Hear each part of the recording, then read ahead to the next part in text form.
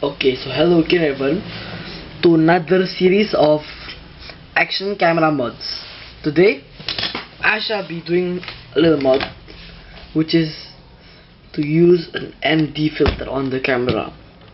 First, why do you need an ND filter? It's because in bright sunlight an action camera is gonna be like bleached out. Let me go show you. Turn it on. I might pop this thing on screen. So if you record the table, it's gonna be normal. But if you put a lamp in front of the lens, it's all white.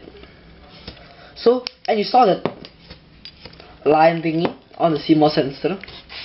So essentially, what you have to do now is you have to stop the recording, put this filter on here. Now I just made this filter on my own. Just use some old glasses. Then just put some of this black tape on it. Then put some paper inside to avoid sticking on the lens. Now I just made this thing with some glass that are concave in, inwards so that so I zoom there see so that those flares from the sun can actually look more beautiful instead of like bothering so now let's try record again recording. Flashlights on normally. And look at that. No more lines. What just happened there? Let's go turn this off. What has just happened is that the light has just been lessened or reduced by the ND filter. Let's put this thing on the camera and see. There you go. Everything's a bit darker. And actually also makes the colors a bit better. Look at that look at that. Look at that little spot. And look at the floor. I more like the table around it. It looks even better with this ND filter. So essentially an ND filter is a must if you're going in really bright situations. Like in front of a torch for example. Or when you have like thick fog and a really bright sun.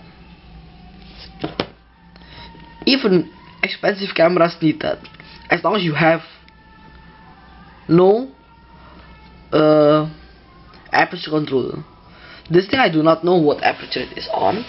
And if you have like a phantom 3 like I do it's gonna be on f2.8 in f2.8 you can actually see quite nice in the night but because of that you have to have it turned off. Which means that in really bright sunlight you're gonna have like video jitter. And video jitter is essentially uh wait a minute yeah. Video jitter essentially so the video that you take is quite not perfect because of the shutter speed that's too fast. Normally you would want a shutter speed to be twice the frame rate you're taking it. For example you're shooting 1080p at 30 fps then you want the frame rate to be essentially 60 on the camera. But in real bright days you might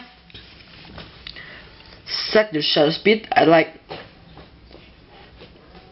100 or 120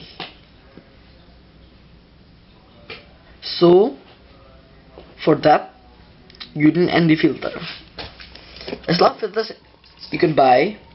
This I do not know exactly how many stops of ND you can actually get with this but there's like ND2, ND8 ND16, ND32 and I also do have a polarizer but it's quite big so let me go get it for a while. Steve there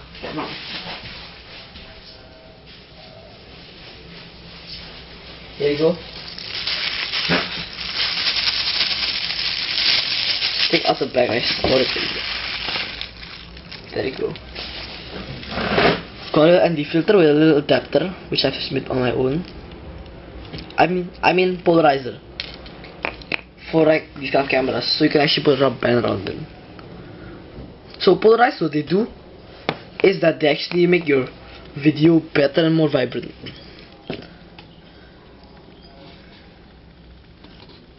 See if you can actually see it okay let's just put this thing on the camera lens. So I'm gonna put this on this camera. This camera. So see the difference wait and I mean polarizer on. Polarizer off.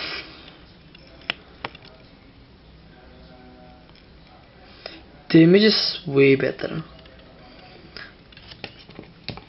So I think that sums up my tutorial today. Thank you for watching. Peace up goodbye